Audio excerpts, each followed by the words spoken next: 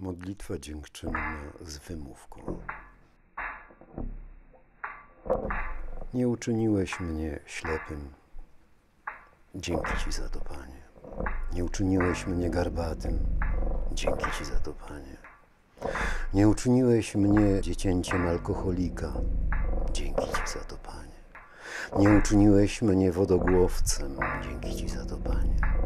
Nie uczyniłeś mnie jąkałą, kuternogą, karłem, epileptykiem, hermafrodytą, koniem, mchem, ani niczym z fauny i flory. Dzięki Ci za to, Panie.